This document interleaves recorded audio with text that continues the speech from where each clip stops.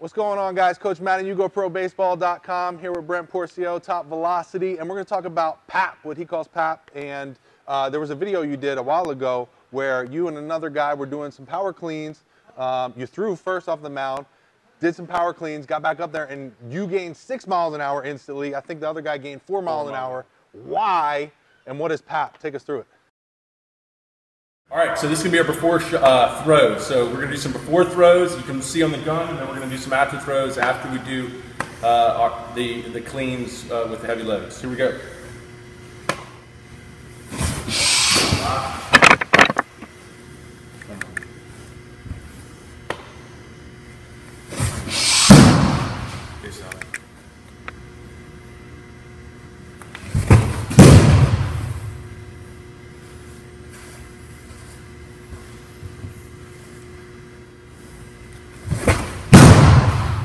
All right, we're going hit our Olympic clean with the heavy load. We want to go something 75, 80%. This is, uh, haven't maxed in a while, I'm getting old, right? But this is close for me. All right, so here we go. I'm to hit, I'm not going to do too much. I don't want to fatigue myself, so I want to hit about, I'm going to do about three of them if I can. Here we go. If I can, right?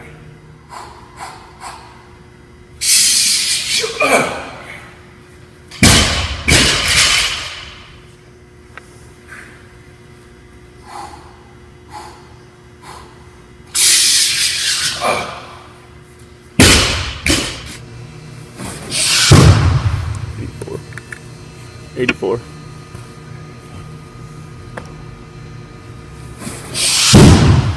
You're on. Good form. The explosive.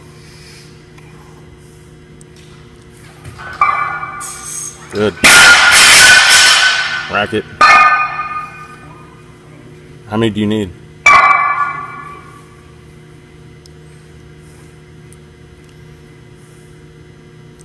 Come on.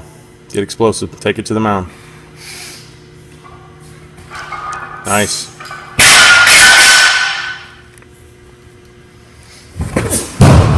Move that arm. All right, so pretty cool. So PAP is post-activation potentiation. What it means is think of your body like a Christmas tree. When you go out to say throw for the day, your first pitch, y- you're turning your muscles on, but you're only turning on a little bit of the lights on the Christmas tree. Post-activation potentiation, is the potential to let's turn them all on so then when I get on the mound, it's like I've been throwing for four innings and my body's live and ready to go and moving at a high rate of power, power production basically. So we're trying to turn the whole Christmas tree on. And when you take a, like a lift, like a, a power clean, because it's a total body lift, so we can activate every muscle in the body, and you go at an 80%, at least 80% of your one rep max, where studies show we maximize power, it's been shown to turn on all your motor units or turn your Christmas tree on and light it up. And you only need a few reps, and then you get on the mound, and it's like you've been throwing for four innings. Your body's at an optimal level of, of power and muscle activity, and, and, and, and it works. And it works too in a long term. If you, if you train that way, it's a great way to train. It just helps you constantly be uh, in full muscle activity to, and, and forcing your body to enhance that and adapt over time, and it works. So. and you're a USA uh, certified weightlifting coach. One of the things that you talk about is triple extension on these lifts, right? Same thing in your pitching program, triple extension is huge. So obviously if you can get the movements and the power through your body this way, it's going to translate very well to on the mound, especially over the long term. That obviously that video showed an instant reaction, but if you continue this over the long term, you're going to see some really, really great results. Take us through uh, some of the stuff. So, like we're talking about triple extension. Triple extension is the extension of the ankle, knee, and hip flexor. That's how you maximize power in your lower half. Big part in, say, Olympic lifting because that's how we jump and drive the weight up if you're doing it through a triple extension approach. Um, that's going to maximize ground force, which potentially that's why you can throw harder on the mound because you're bringing more energy up your body. As long as you separate, you can transfer that to the ball. So, why are we using training in a weight room? It's because of these weights. It, I can't really put up to, like you said, 80% of your one rep max, or like we tell our guys that are around six feet tall or, or above to get to 130% of your body weight on your one rep max, or If you're lower than six feet, we are going to push you up to 150% of your body of your body weight. We can do that in a weight room with the weights to load the body to force the body to adapt. It's really hard to do that on the mound. If I could take 130% of my body weight and put it on my body and go through my pitching delivery, I'd, I would do it. I mean, that's the definition of sports specificity, but it, it's just too hard to do that. So we do it in a weight room, and then we have to train through the skill for us to move it differently than we did here on the mound. Um, so, I mean, you want me to go through like just technique and stuff? Sure. All right, so some simple technique. When we grip the bar, and, and, you know, this is important. Supervision is what keeps the injury rates very low in Olympic lifting. Like, if we look at a six-year study, 3.3 injuries per 1,000 hours on elite Olympic lifters was the injury rate. And on Major League Baseball study for six years, 3.6 injuries per 1,000 hours. So technically, it's safer to be an Olympic lifter than it is to be a Major League Baseball player. But that means you're an Olympic lifter. You know technique. And a lot of the studies that show the low injury rates for Olympic lifting are supervised. So it has to be in supervision because a lot of times I see guys doing power cleans and that's really an arm curl. You know, it's an upper row into an arm curl. It's not a power clean. So basic technique we'll start with is how you grip the bar. We got to balance out the bar so we're not off balance. So we do these thumb grips. This is the knurl. This is where the grip starts. You want to put your thumb in there, extend your thumb. And then we have to wrap the bar because that's, once again, it secures the bar so it doesn't fly out of hands. And at this point, you can either do a, a regular grip or you can do a hook grip, which is a uh, thumb to index finger. That, once again, it secures the bar even more. So once we do this, we're in a good, secured position. The biggest challenge in, the, in Olympic lifting is the rack position a lot of baseball players find out they don't have a lot of mobility or strength to do the rack position. But in this approach, we don't like to handicap athletes, meaning we don't want to like say, okay, well then you shouldn't do this. We want to say, okay, well that's a problem for you that won't just be expressed in this lift, it'll actually be expressed in the mound. Having more strength and mobility will keep you healthier on the mound. So we're going to help you get better so then when you can get up here and you want to rack, it's easier for you to do. So it just means these are like training wheels, guys. If you can't do your front rack position, you're going to have to just practice, practice and, and, until you can take your training wheels off and then you go to town off of it, on it. So the keys to the rack position, I like to start one at a time, is you, once you got the thumb gripped, you're going to throw the elbow. Let's go one, like I said, one at a time. Let's throw the elbow inside the hand. We don't want to go outside the hand because then I'm more in flexion and it fries my wrist. I want to go elbow inside hand as I place the bar under my, my uh, clavicle or collarbone. Okay, the bar, and then I want the humerus to be uh, parallel to the floor because the bar is going to rest on that upper trunk. Ideally, the arm is just in position to guide the bar up and down uh, from the floor. So you can practice one at a time. Take the, the shoulder inside hand, and take the elbow inside hand as well and, and keep this flush your chest and find, try to find that, that good shelf to create that rack position. You can do it both ways, okay? And then once you get that, then you go both together. Just got the mic here. got to go both together like this, okay?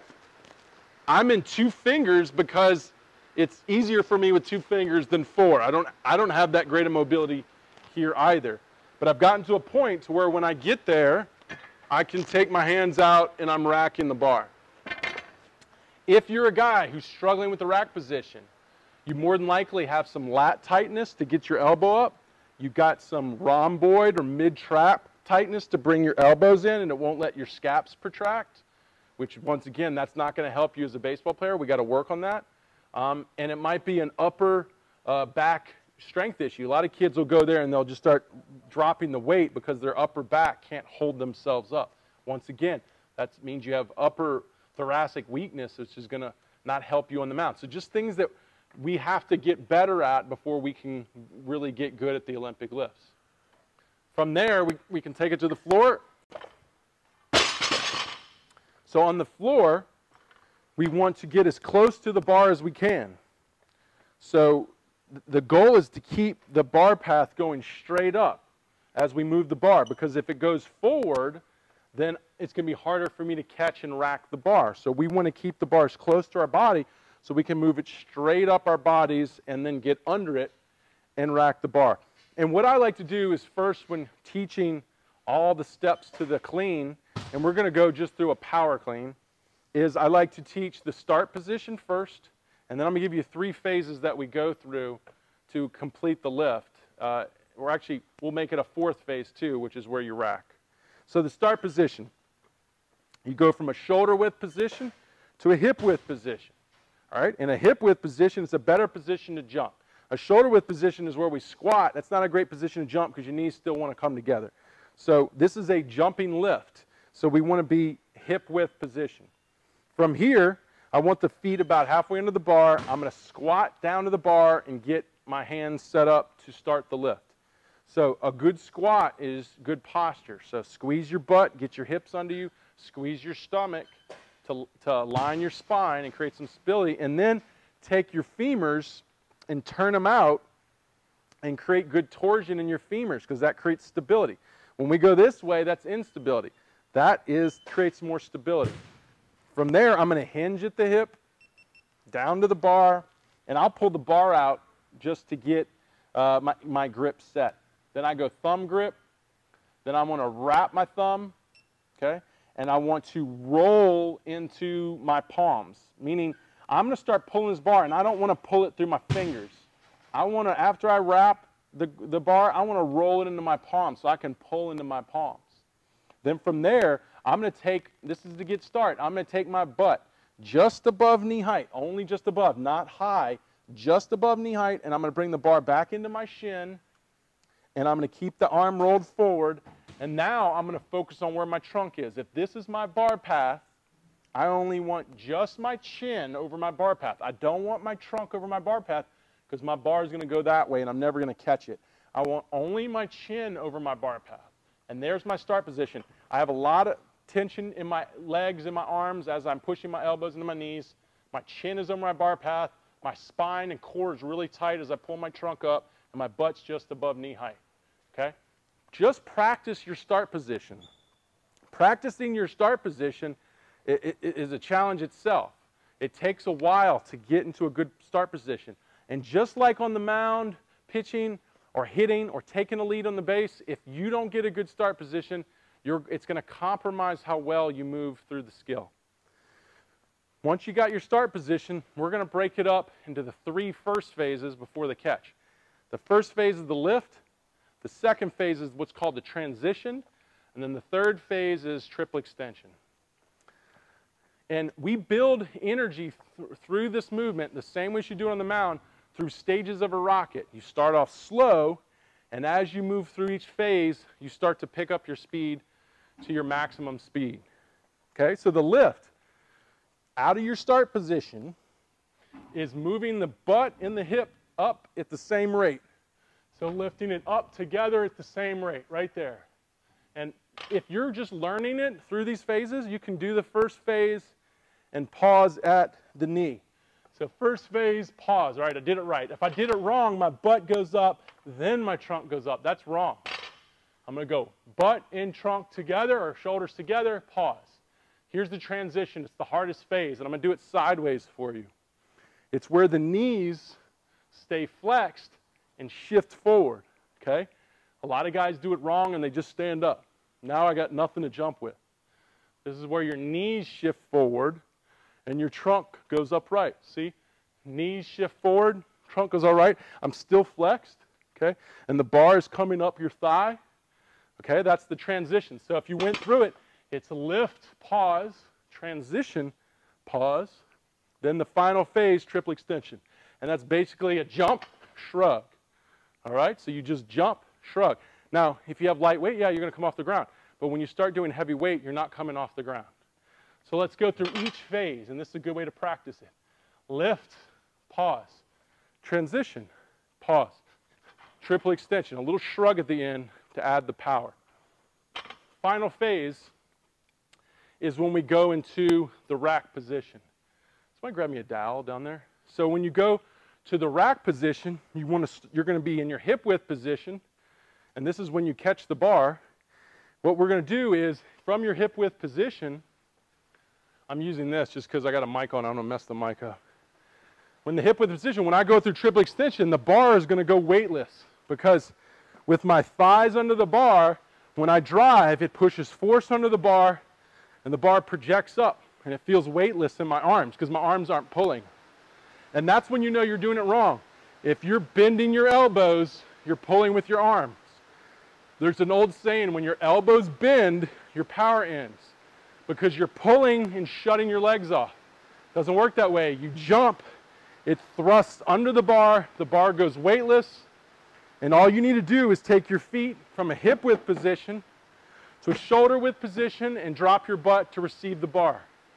If you go past shoulder width, you're cheating and trying to get under the bar and you're not driving your bar high enough.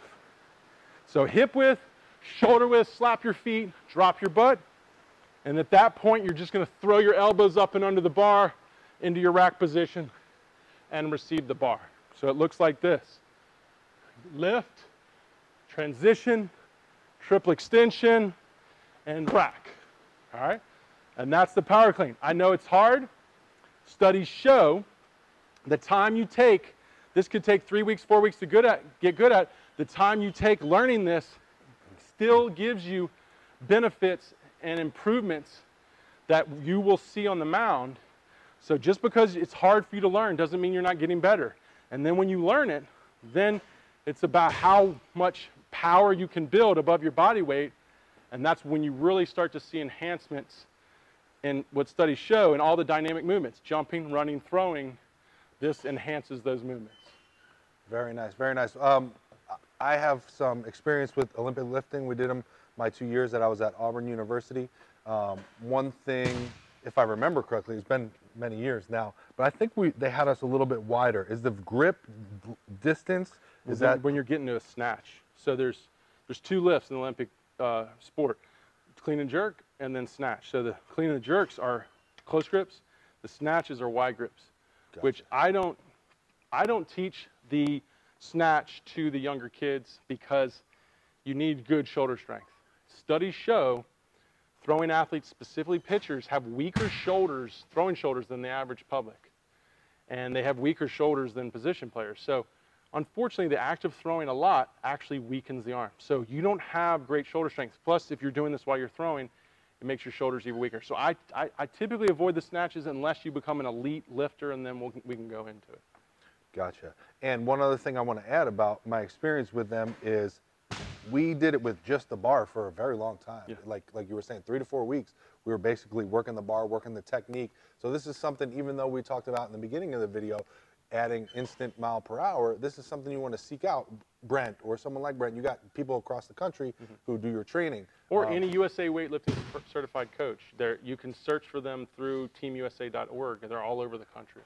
And once you get the, the fundamentals down, then you can kind of work off of your program and, and really build that long-term uh, power. But, and, but look at it this way, yeah, doing simple stuff like squatting, um, you know, upper, upper body pressing, you know, uh, trap bar deadlifting, those things do improve performance. But this is a complex enhancer of power, strength, and speed through a complex movement which studies show transfer better to complex skills because pitching is such a complex movement and a complex skill. Uh, uh, you know, lifts or training that loads and enhances the body through a similar complex movement transfers well the gains to another complex skill. So I'm not saying ignore all these other things. It's just a great tool because it's such a complex uh, a lift and it, and it transitions well to a complex skill, basically. Makes sense. Now, what do you say to those people who oppose uh, uh, Olympic lifting, that throwing athletes shouldn't be putting their wrists and their elbows and shoulders into these uh, vulnerable positions? Uh, how do you It's a good one. So we get that a lot. Um, is the pitching is already putting a, a massive valgus load on your arm, stress on the, on the UCL. This will never get close to that load. And if your body isn't strong, timing the movements right, stabilizing the core right, you're going to wind up in injury. There's a good chance you'll have injury because there's, there's a pattern of injury in baseball in the, in the arm for pitchers. There's no pattern of injury here. But th what this is saying is we're in a controlled environment. If the weight's too heavy, we're going to lower the weight. We're going to get your body, help your body adapt to handle this, the stress of this training, to where you will be in a better position, mobility-wise, strength-wise, uh, you know, motor control-wise, to survive uh, the, the challenges of pitching healthy, which is, like I said, is very hard to do because of the pattern of injury. So we're in a controlled environment, putting our body in highly mobile, uh, you know, explosive, strong positions and make it, you know, if it's too much one day, we'll bring it down. And we're building the body to be able to survive the stress um, of pitching at a higher level. Like, you know, for example, people want to relate throwing as, you know, as, as a better way to condition the athlete. The problem is, like I said, you're in a movement where you're putting, you know, they say up to 80 miles an hour is enough to tear the UCL. You're never going to put yourself in that position, even though this feels really, you know, I feel weak and I feel uncomfortable here. It's, it, there's no there's no pattern of injury that's going to blow you out there like when you lay your arm back this way. So it's in a controlled environment and it's going through movements that are less stressful than, for example, the throwing movement. And uh, then it's also going to build strength and mobility where you'll better survive it over there. I mean, I think it's just something that it's hard to like get people to understand that until they've gone through it and they've experienced it.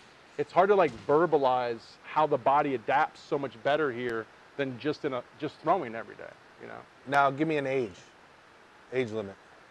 That's a good question because, you know, you go into Asia, you go into you know Eastern Europe, and they're doing this at five years old. Um, obviously supervised, right? Um, and, and I did a study or I did an article. I looked at every developmental organization in the country and what they said about strength training for young kids or Olympic lifting for young kids, and they all supported it because the studies were showing it was as beneficial or more beneficial for a child than it was for an adult to do the lifting. Now, here's the thing with it.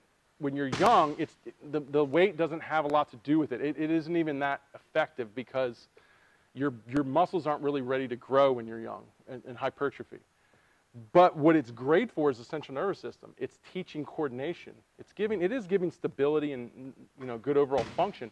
But more importantly, it's teaching the central nervous system how to move better, move more efficiently. Because you know when you're kids, like your boy, falls around, he falls down a lot, right? Because the central nervous system isn't advanced enough to keep his body protected all the time. And they've studies have shown lifting at a young age helps them mature that quicker. And all the old school stuff of it stunts your growth and all that is really just myths. I mean, there's a there's a funny joke where the, Olympic lifter Matt Bruce, who advises me on this, he, he always tells people he's short because the Olympic lifts. And it's really the other way around. It's just like gymnastics. Why do the tall girls fall out of gymnastics? Because it's harder for them to do the moves than the little girls. It's like, you know, you're, you're, an upper, you're a lifter. Who, who, ha, who has a harder time? The guy with the long arms or the short arms, right? So obviously, if in the sport of bench pressing, the short guys, the short arms are always going to win.